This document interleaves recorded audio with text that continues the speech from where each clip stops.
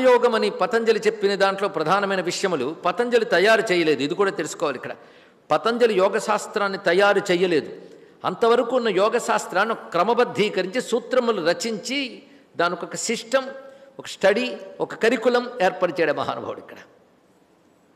అయితే పతంజలి చెప్పినటువంటి యోగ శాస్త్రం కాక ఇంకా మనకి చాలా శాస్త్రాలు ఉన్నాయి అవి మంత్ర మంత్రయోగం అఠయోగం నాదయోగం లయయోగం రాజయోగం అంటూ యోగం ఐదు విధాలుగా ఉంటుంది ఇక్కడ.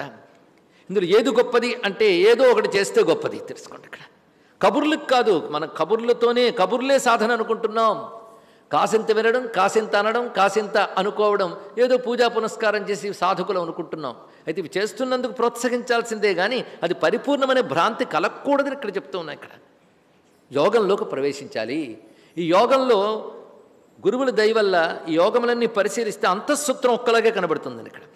మంత్రయోగంలో ఏ దేవతనో లేదే మంత్రం తీసుకున్నాడో దాన్ని యోగంతో కలుపుతాడంతే.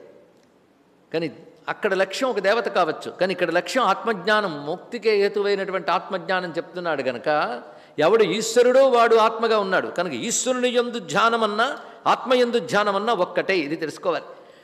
ఆత్మయందు అంటే నిరాకారమై. కదులుతున్న దేహాదులకి కారణమై కూడా కారణం కాకుండా ఉన్నటువంటి చైతన్య స్వరూపం ఉందో అది అని మనం చెప్పుకున్నాం. ఆ చైతన్య స్వరూపమే విష్ణువు అనుకున్న అభ్యంతరం ఏమీ లేదు కనుక ఇది భక్తికి కానీ దేనికైనా అన్వయించుకోవచ్చు. ఇది అందరికీ పనికొచ్చేది. కనుకనే అటు భక్తికి ఇటు జ్ఞానానికి కూడా ఉపయుక్తమైనటువంటిది ధ్యానము. ఇది తెలుసుకోవాలి. భక్తి జ్ఞానాలకు రెండు రెండిటికీ కారణం ఇది.